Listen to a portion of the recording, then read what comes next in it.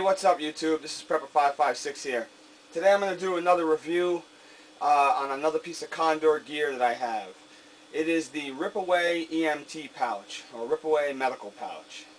Uh, I find this to be a lot more convenient than their standard EMT pouch only because in, in uh, a time of uh, emergency where you need to gain access to it, depending on where you put this, you can rip it right off of your uh, gear, just to, hence the name Ripaway, where on the standard EMT pouch you have less compartments inside for storage and it's permanently attached to whatever you put it on via the MOLLE webbing system and if it's in a weird place you might not be able to access it yourself uh, in a time of need. So this is my preferred uh, pouch for medical uh, purposes. Now for the review I actually only put uh, just some generic medical uh, supplies and, and, equipment and stuff in here. It's not all inclusive and it's not what I carry uh, myself. One day I'll go over my stuff, but this is a review for the pouch. So, with that being said, we're to take a, we're going to start right here. This pouch is Coyote Tan, but they also make it in olive drab, black, ACU, and multicam. I know that they make the EMT pouch in the new A-TACS material. I'm sure they'll have this one available shortly. It does not come with the Red Cross uh, medical patch on it. I added that on there. I feel the patch is a better thing to do than to paint or, you know, write on it or whatever. It's uh, actually sold separately. It comes on its own little Velcro tab, so if you don't have a way to uh, actually insert it on anything, you can uh, pretty much sew this onto whatever you want to do and you'll have a spot. But it is sold separately through, uh, I guess, anybody that sells Condor products. They should have this available.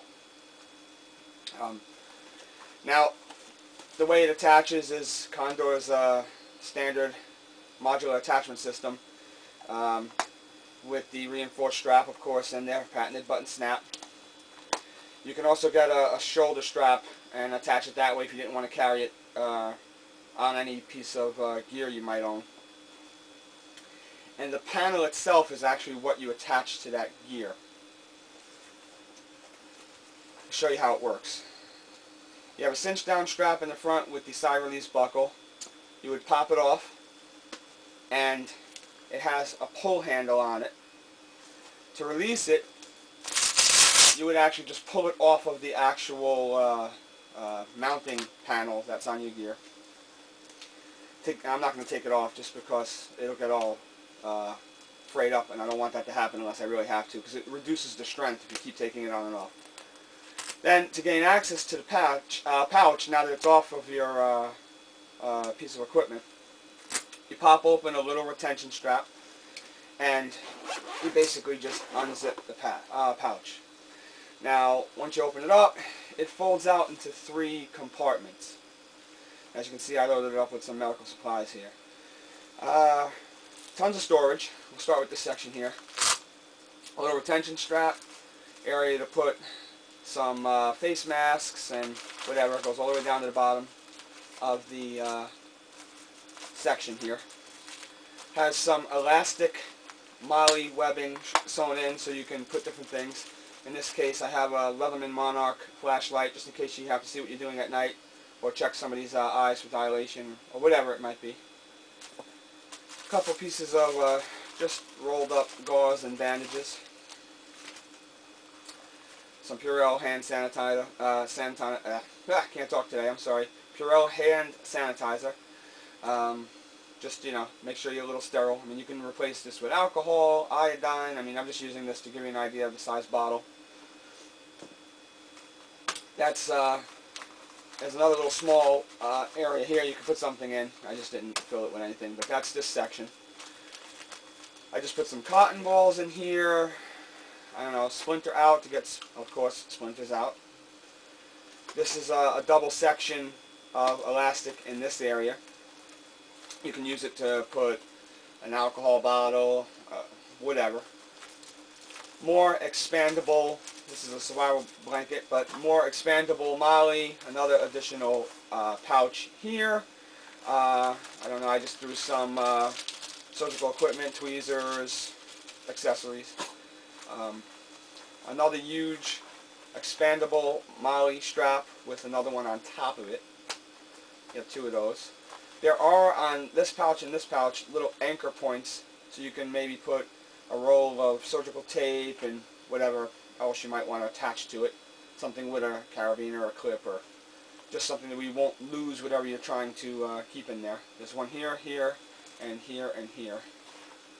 And you have another fold out little mesh bag and just in here you just unzip it and for the sake of the review I just threw a bag of all different burn cream, first aid ointment, whatever as well as just another little bag of uh, band-aids. You can fill that up with tons of stuff. I mean, it's pretty huge. The entire interior of the pouch is kind of lined with this uh, vinyl material. They attempt to keep it waterproof as much as possible. It's all backed with all this stuff.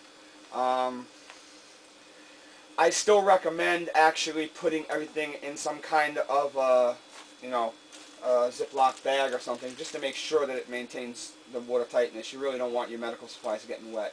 But they do, uh, they do attempt to make a majority of the pouch uh, waterproof. Whether it would hold up, I don't know. I never really had the uh, pouch out in the rain yet or attempted to get it wet. So we'll see how that works. And the zipper itself is not like the hydration uh, or the H2O uh, pouch where the zipper sealed. Well, I guess you can say it is for the most part. Very, very small uh, teeth on there. I guess it would prevent water from getting in for the most part, but probably not 100% waterproof. And that is really the pouch in a nutshell. I mean, you have Velcro on the front, like I said, to mount different uh, patches. In this case, I actually have the Red Cross I didn't get them in yet, but I'm going to have uh, my blood type uh, patch on here from myself, my wife, and my two kids. So we all know, God forbid, uh, if one of us doesn't provide treatment and we have to go into a hospital in a SHTF situation, hopefully they're still operating and you know, you do, you do, hopefully there still is some kind of uh, humanity going on here where people can help each other out. If they need blood, they'll know what our blood type is. You can always put you know, medical records and stuff in here also. Keep it in a watertight uh, bag. It has MOLLE webbing in the, in the, front for you to attach more. Uh, patches, maybe, uh, I didn't put it on here, but they sell also a little uh, latex glove patch, uh, no, pouch on there. There's a whole bunch of different things you can do with this. It's a nice little uh, setup here once you got it going. So, I'll give you another example of what I used one for. This one here, I actually have in multicam and I, I don't know if you saw my review on my first aid only kit.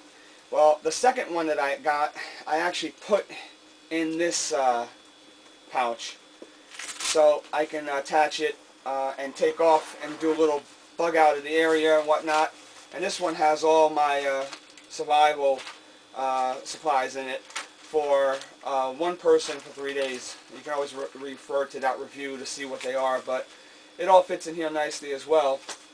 And it was a more convenient and heavy-duty uh, pouch than that came with the kit. So, I mean, like you see, the num uh, the options are are plentiful. Now, I'll show you something here. Condor's quality is usually pretty good, and they've been knocked around quite a bit. But there are things that happen that make it that they can improve on. In this case, if you notice, the MOLLE webbing is actually going the wrong way. I mean, going back to this pouch, it's supposed to go that way. So they made an error. Alright, big deal. Did the uh, pouch become non-useful? No, as you can see, I actually used it for something else. I mean, deal with it and figure out what your options are and make good of the situation. That's what prepping is all about. That's what survival is all about. Uh, so, you know, you just gotta, you gotta use your brain a little, people. Yeah, I mean, is the quality not there? No, I mean, this thing still is a rugged, uh, you know, uh, pouch. I mean, I don't know why everybody knocks them, but I guess to each his own. If you want to spend $100 more for something else, knock yourself out. That being said, this is the review of the Condor Rip Away EMT pouch.